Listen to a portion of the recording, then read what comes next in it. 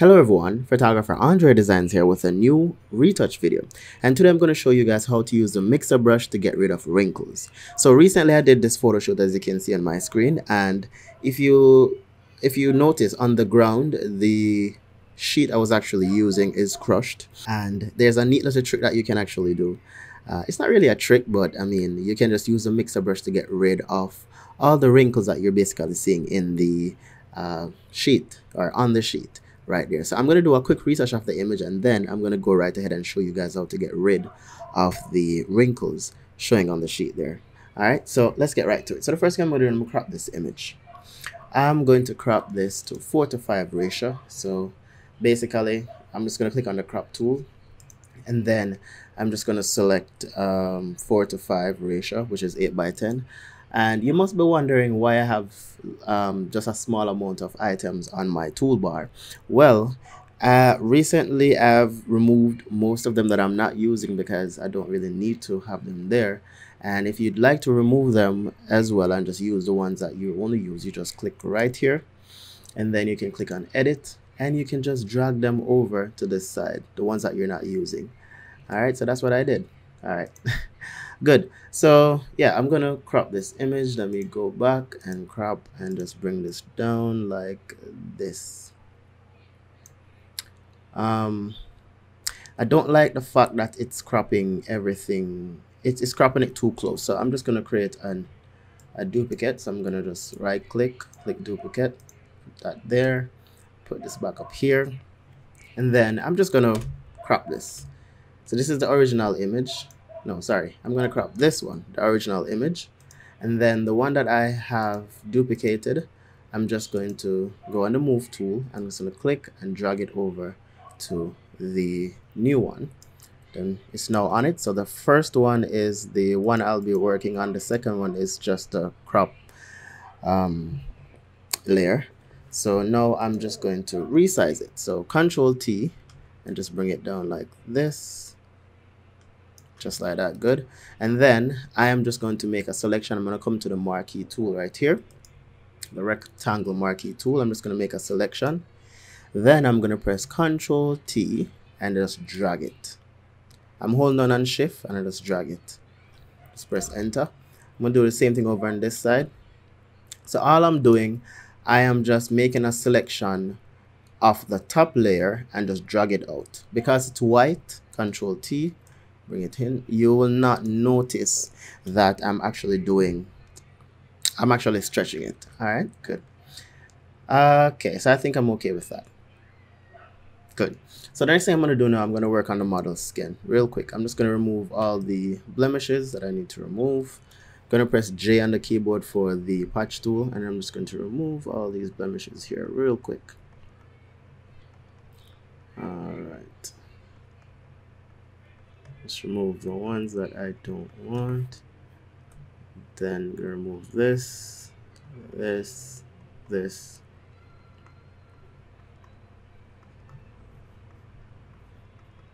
Alright, just gonna move this loose here from her face as well. That one works. So you remove all the blemishes using, I'm not sure what tools you'd well I like to use the clone stamp tool. Um, well not the clone stamp tool. I like to use the patch tool to remove blemishes loose here and stuff like that but not all the time I'll use that tool. There are times when the spot healing brush tool works better or the stamp um, clone stamp tool works better. So it all depends on what uh, tool works for you all right? So I think I'm okay with that. I'm gonna come down to the chest. There's not much I need to remove. That looks good. I'm gonna come down to her hand. Can remove some of these veins from the hand. Then her knee. All right everything else looks fine. Maybe right here. Perfect so what I'm going to do now, I'm going to clean up the background as well. Yeah, I need to repaint my wall. yes, I wasn't using a, a backdrop for the wall. It was just well, I was using the wall as the backdrop basically.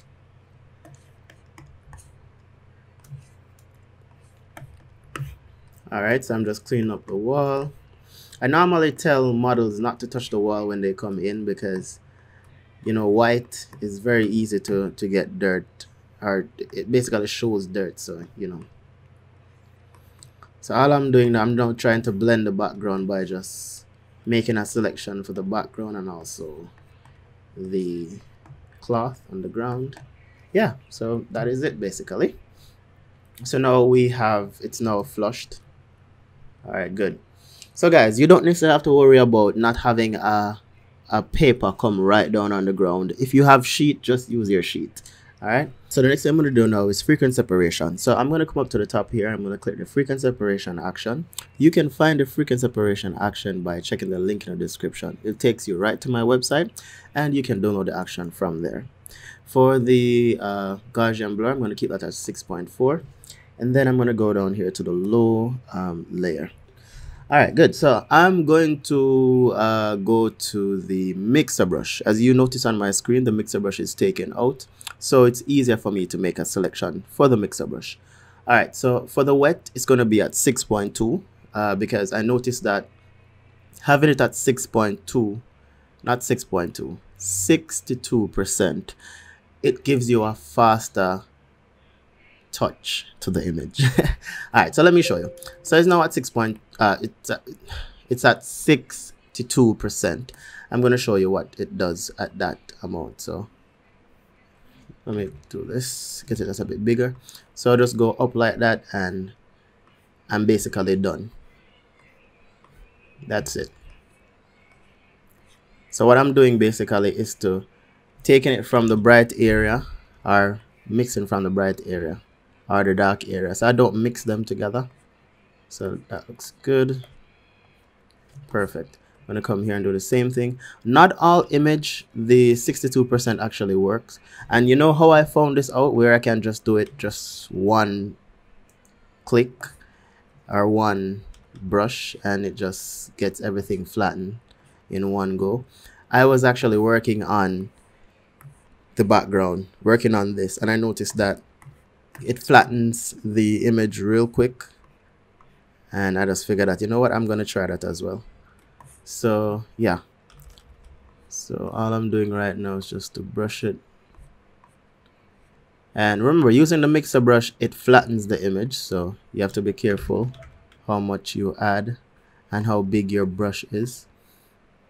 And as you know you can always use well if you've been watching my videos you can always use the dodge and burn to basically shape back the face or give it a dimension.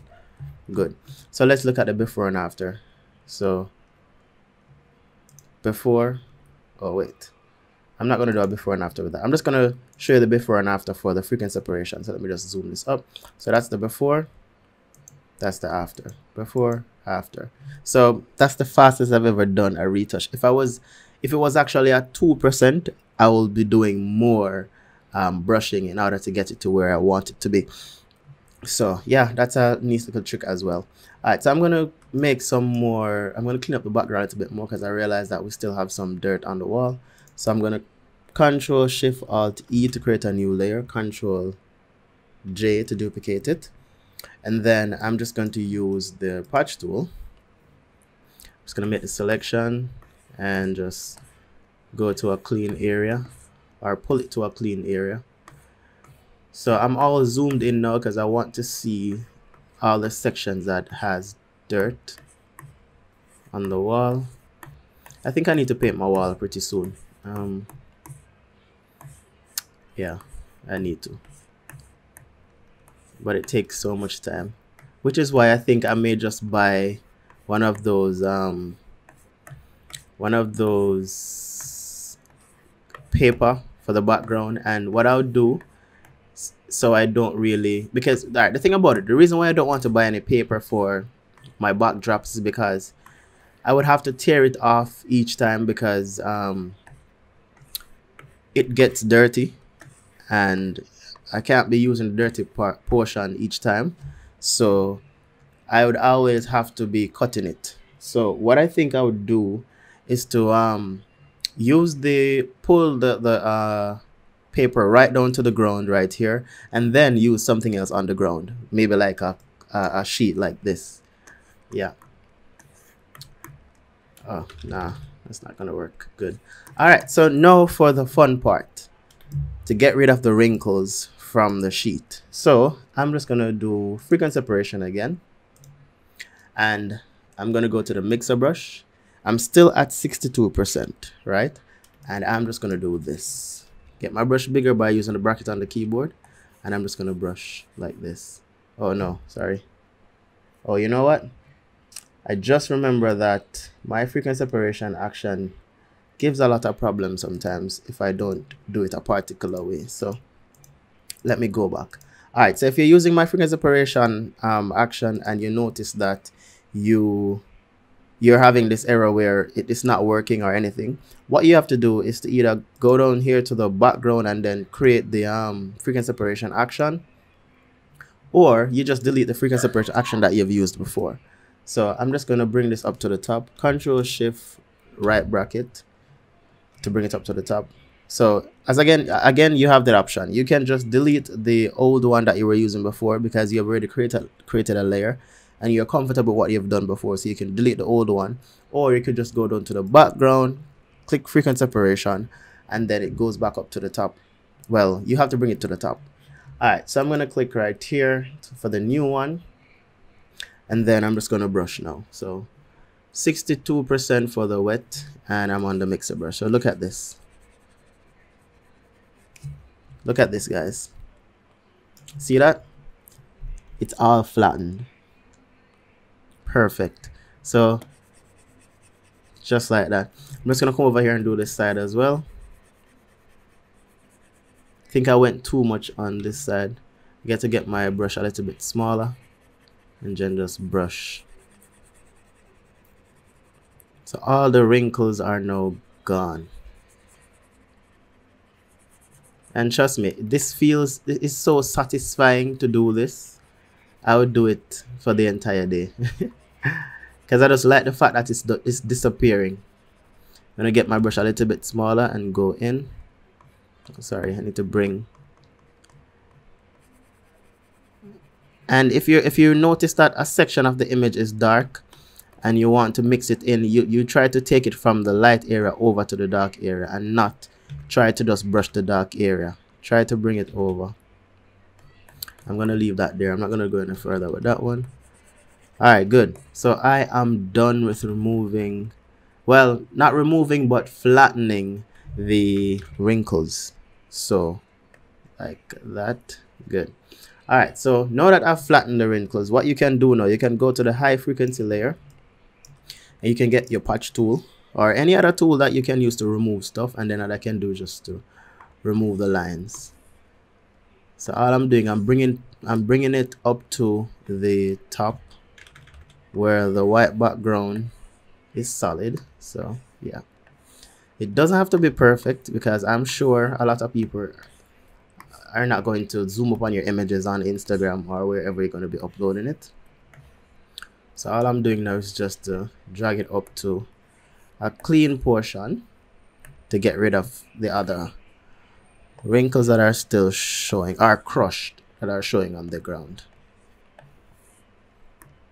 Alright, I think that is it. So I'm done. I'm done. We could go in a little bit um, closer and try to get rid of more some of the others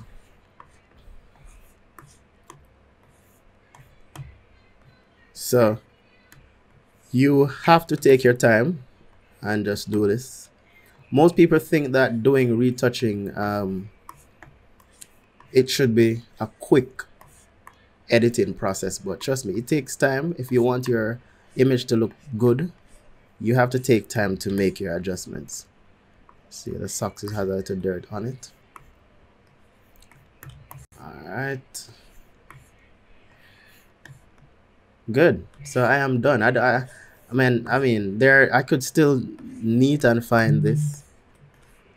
I could still come here and do some more. And as usual guys i don't want this to be a long video. I have already edited this image. Um let me show you. Uh where is it? Where is it? Where is it? Good. So this is the edited image. Let me just go to the rated one. So this is the edited image. I've already edited the image. So you guys oh i didn't even clean up right here. But that's fine um yeah so i think i didn't in this one as well. Yeah but yeah that's that's the image. I'm going to do some color grading now real quick. So the color grading process is really really easy. I'm going to create a new layer. Control alt shift e to create a new layer. Control j to duplicate it because we don't want to work on the layer that we have created. We want a new layer to work on in case we need to delete it and do something else. We're to come here to filter go to camera raw and i'll be using my preset that i've created for camera raw you can download this preset by using the link in the description. All right.